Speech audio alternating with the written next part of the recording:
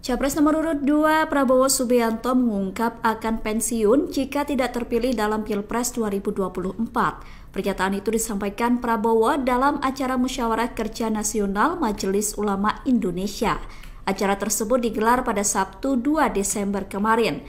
Dalam acara itu, Prabowo mengatakan dirinya ingin diberikan mandat untuk memimpin Indonesia. Namun ia mengaku tidak masalah jika mandat tersebut tidak diberikan. Prabowo berkata jika ternyata di Pilpres 2024 dirinya tidak terpilih sebagai presiden, maka Prabowo memastikan akan taat kepada undang-undang dan akan pensiun. Prabowo mengungkapkan bahwa setiap pilpres dan kalah, ia selalu membuktikan taat kepada undang-undang dengan mengakui kekalahan.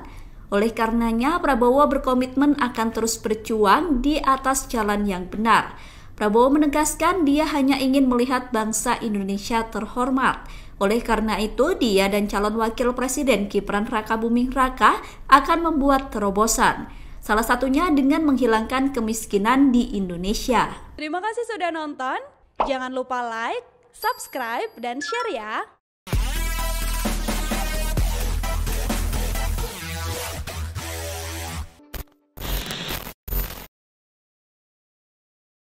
Download Tribun X sekarang.